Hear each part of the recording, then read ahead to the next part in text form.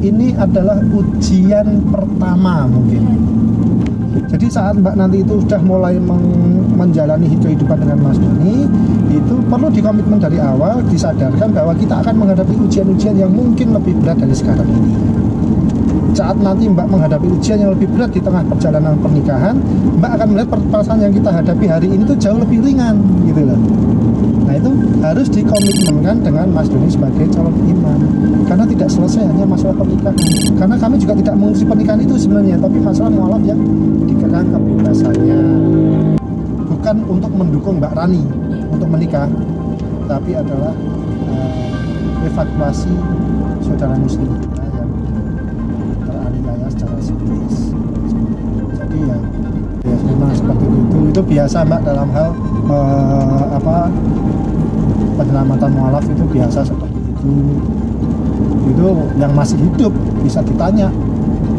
Penyelamatan penyelamatan jenazah siapa yang mau nanya? Tapi begitu ada yang bersumpah demi Allah bahwa si mayit itu sudah syahadat dan wah, sudah jadi muslim dengan cara apa pun akan insya Allah kami lebur untuk dimakamkan secara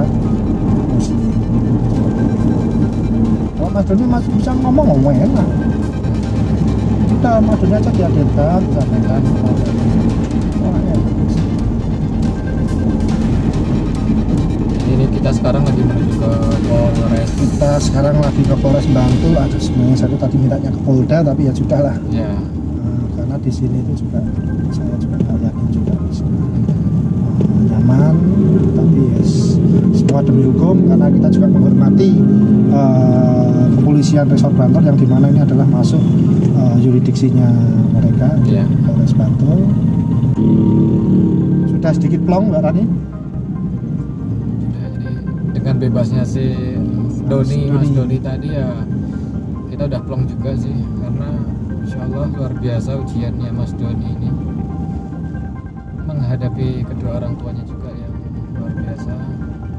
terlihat sabar, pasrah pasrah tapi pokoknya. tidak lupa ikhtiar memohon pertolongan dari Allah melalui Alhamdulillah Allah menunjuk Malaf Center untuk melakukan uh, recovery untuk penyelamatan atas izin Allah semua bisa dilaksanakan.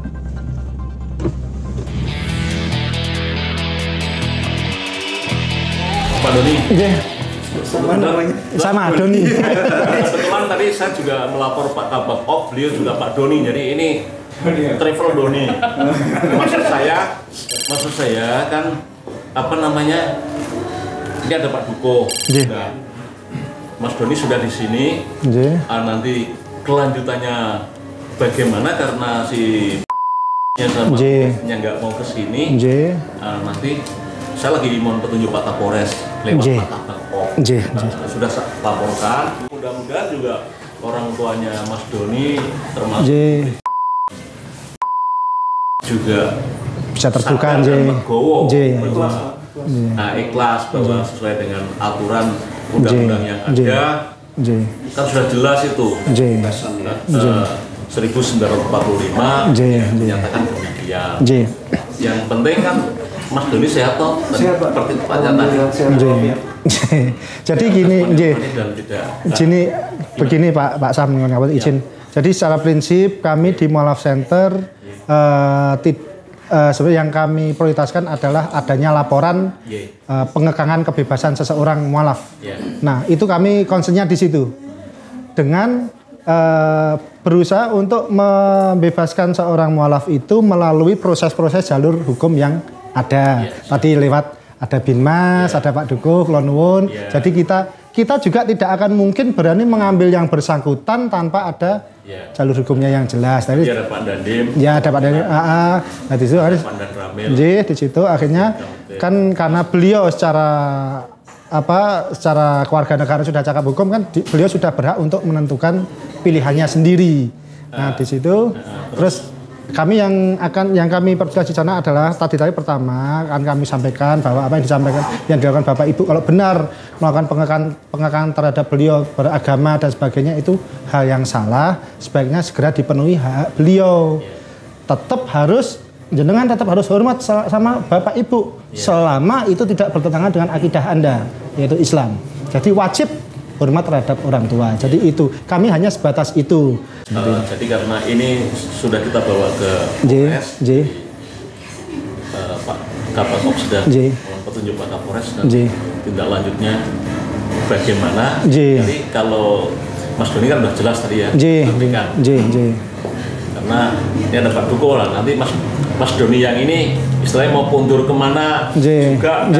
Sudah sudah kami pikirkan, sudah ada ada plan-plannya. Jadi yang bersangkutan nanti akan di save house. Ya. Eh, itu tetap eh, dia berhak untuk berkomunikasi dengan orang tuanya juga iya. berhak eh, apa untuk melaksanakan ibadahnya dia juga eh, bisa full melaksanakan ibadah dan hak-hak dia bisa dia laksanakan sebagaimana yang eh, dilindungi oleh konstitusi seperti itu intinya seperti itu jadi kalaupun dia Mas Duni mau pokoknya saya mau pulang ke rumah ya kita juga tidak bisa melarang. melarang karena ini hak beliau gitu kan.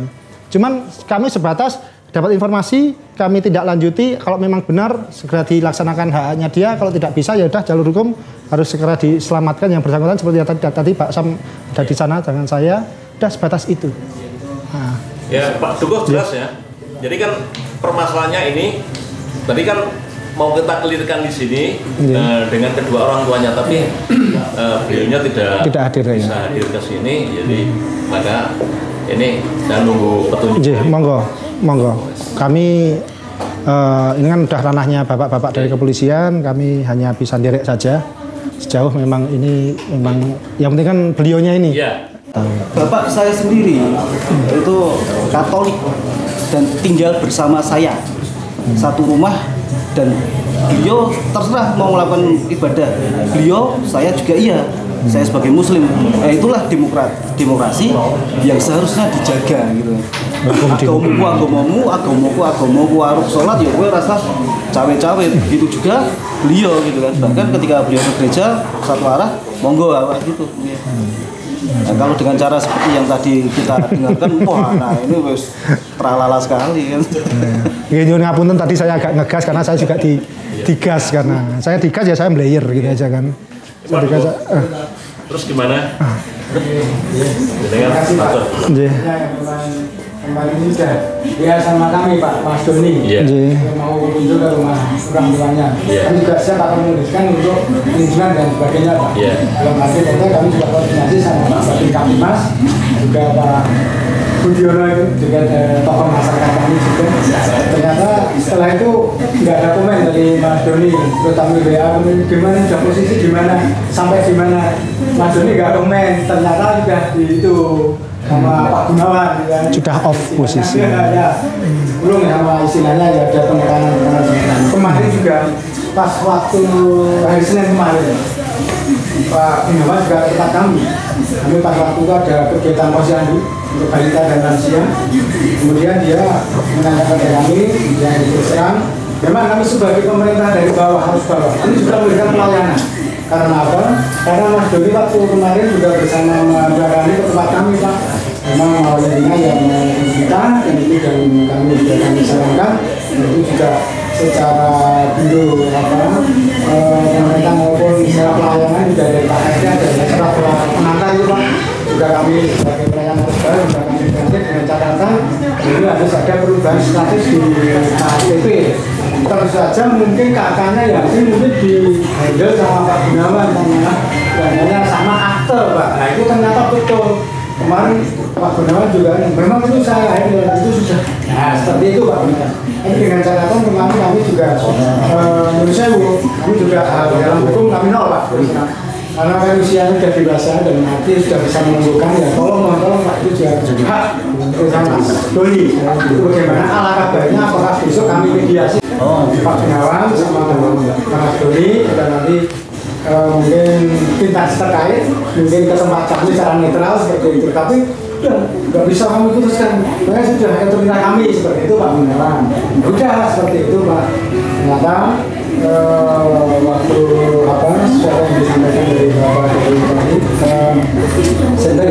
ya sender ya memang itu ya seperti ya gimana ya memang ya nggak rela seperti itu Oh yang rekaman tadi. Saya sudah mendengar rekaman tadi ya. Saya akan sana. Seperti itu Pak, tapi kami juga menjaga publisitas untuk kenyamanan warga kami Pak. Rencananya itu kami berangkat sendiri. Ini bisa kita koordinasi. Iya. Ya, terima kasih Pak. Ya untuk selanjutnya. Nah, makanya itu kami kami masih jaga. Nggak tahu nyebarnya ini masalah mualafnya. Kita nggak bisa jaga media itu kalau kemarin kan kita nggak itu. Nah. Jadi prinsipnya kami tuh mau berangkat sendiri tadi sebenarnya. Mau berangkat sendiri ke sana sama teman-teman. Nah terus ketemu Pak Dukuh ini di masjid waktu mau sholat. gitu. Ternyata beliau juga tahu kasusnya. Ya sudah sudah sudah sama Pak Dukuh ya udah kami mohon pamit untuk berangkat. Ya udah sama Pak Tri juga dari Binsa, apa dari Binmas Pak Dukuh ya hati-hati semua terjaga. Karena ada masalah lain Pak, masalah apa? Kita perdengarkan ya sudah kita berangkat aja sekarang ke sana. Nah ini kalau udah udah ini udah masuknya giroh ya monggo tapi kita tetap harus kalau udah kayak gini mau sebaiknya Pak Tri terus menghubungi Bapak tadi mungkin Pak Tri udah minta untuk dikawal. Kantornya Mas Doni di mana? Kami malah center di Masjid Kauman Pak. Keraton Jogja. Iya Masjid Keraton di, di sana. Sementara masih di sana. Nah, Kami pun koordinasikan tadi. Tadi kita Kalau memang nggak bisa lagi langsung bawa ke Polda aja deh, ya gitu kan. Tapi kalau memang ke Polres sudah Polres saja, udah ini jurisdiksinya Polres. Kita yang penting ini kita save dulu. Pak, ini kan sudah sudah apa ya? J, J. Insya Allah terkondisikan J. Memang orang tuanya apa istilahnya tidak mau datang ke sini. tapi J. kan ini udah terkondisi ya. Insya Allah terkondisi. Petunjuknya bagaimana kalau memang ini sementara kan Mas Doni udah kondusif, Kok juga masih ada aktivitas kan balik- bisa balik. J. Ini nanti Ini tempat sama kami Pak. ya, sama Mas Doni. Sama Mall Center nanti. J. Mas Doni sama Mas Doni. sepengetahuan dengan Pak Duko. J, J. ada apa kata-kata J. ini enggak sama kawan-kawan sama saudara-saudara. Kabar Ops ini Pak Ian. Pak Doni juga. Pak Doni juga. Oh sudah bukan Pak Ian Benyamin. Oh di SPN sekarang. Di mana itu? Eh, Solo Pamiro. Oh, iya. Saudara Doni ya, Doni lo kabeh. Pak Ian sering sama saya. Waktu dulu masih dikasih wajah Spam Polda. Kan habis itu kan mutasi ke Kabak Ops ini. Kalau saya biasa sama Pak Ian sama Pak Hanafi di Kasubditnya nje. Nje, Binmas di Kasubditnya Polda. Dikasih tahu. Iya. Tetap dikasih tahu. Tetap koordinasi, ah, tetap walaupun memberitahukan. Beda agama itu adalah orang yang melahirkan kalian tetap kalian menghormati juga ya. Iya. Nah, di batas-batas itu jadi etika keagamaan juga Iya. biru walidain juga boleh tapi walaupun beda agama. Doa gitu mas jadi sudah tak laporkan beliau pada intinya kita lihat uh, mas Doni dan mas Doni bisa melanjutkan perjalanan. Saya juga melapor ke mas Doni. Pak Doni. Jadi kan rival semua. Gitu. kebetulan namanya sama. Oke. Iya, jeneng pasaran kok pasar niki. ini jarang loh ini Seperti saya kalau di kelurahan Trinenggo juga gitu. Duh, namanya Munawardu, saya juga Munawar Nggih, matur. Pak Duko, juga nanti bisa melanjutkan aktivitas. Eh, Kalau ada pertanyaan dari Pak Gunawan atau Bu Justin, si Mas Doni sementara eh, ditangani Mall of Center gitu. yang penting apa namanya eh, dijamin keamanan dan kenyamanan Iya, insya Jadi Allah. Nanti bisa memberikan penjelasan kalau ada yang tanya terus Mas Doni barangkali juga bisa ngasih tahu Nah, tetap nanti kita koordinasikan. Hah? Saya kira gitu Pak. J, Pak Pak Sam, saya Ya, juga matur. ya. Ah, matur. eh, saya mewakili teman-teman Mall of Center dan beberapa dan umat Muslim seluruhnya Jogja pada khususnya eh, dan Mas Doni. Eh, kami mengucapkan terima kasih sebesar apa sebesar-besarnya atas eh, apa support dari apa teman-teman dari aparat baik dari kepolisian maupun dari TNI tentang pengamanan tadi Semoga dengan terjadinya hal-hal seperti itu bisa menambah eh, apa eh, pelajaran kerukunan kita dalam beragama di wilayahnya Pak Duko. Amin. Monggo juga Pak Duko semoga juga eh, apa lancar dalam urusan administrasi warganya, sabar menangani masalah-masalah warganya. Ya semoga nanti dari eh, jajarannya Pak Sam dan Polres Bantul diberkahi Allah insya Allah dan bisa kita berjalan seiringan menjaga kondisivitas masyarakat khususnya di area Bantul. Ya, terima kasih. Eh, sebaliknya kepada si Mas Doni, Ya. Mas Doni juga Pak dan teman-teman semuanya. Ya. Apabila ada kurang lebihnya dari kami mewakili apa namanya eh, Jajaran teknik keamanan, Ya. jajaran mengucapkan terima kasih juga Ya, terima kasih. Teman-teman semuanya. J. Iya, Pak Terima kasih. Pak J. Turun. Sip. Ini Pak Rahman nanti Pak Duko diantar kundur. oh iya. Matur nuwun, iya. Oke, secepatnya. Makasih Iya, ya. sampai ketemu. Terima kasih Mas. Terima kasih. Pak Turun. Penanganan jenazah juga. Jenazah kami di rumah sakit kami tangani juga. Karena mau dimakamkan secara non muslim. Karena ada yang bersumpah demi Allah bahwa dia sudah syahadat dan dia sholat dengan apa pun akan kami rebut. Seperti itu. Dengan cara apa pun akan kami rebut. Karena kalau enggak sama tadi nah hujahnya depan Allah bagaimana? Seperti itu loh. Jeh, Bapak, saya mohon pamit, mohon maaf ini. Ya mudah-mudahan nanti baik. salim lagi. Beliau Matur nuwun. mewakili Pak Kapolres. Nggih, nggih, nggih. Assalamualaikum warahmatullahi wabarakatuh. Alhamdulillah eh, kasus penanganan ini mualaf sudah selesai. Untuk ininya. Alhamdulillah. Ini dia mualaf yang apa? Tadi kita selamatkan, yang kita atas izin Allah kita diselamatkan dari pengekangan kebebasan. Alhamdulillah sudah bisa bersama kita. Nanti insya Allah ke depannya eh, Mas Doni semoga bisa istiqomah dalam berislam, bisa menjadi wasilah untuk keluarga dan bisa menjadi eh, panutan untuk keluarganya kelak insya Allah. Tetap istiqomah dalam berislam dan jangan jauh-jauh dari jamaah. Tetap berjamaah. Eh, Monggo nggak mau foto berjamaah, monggo mau.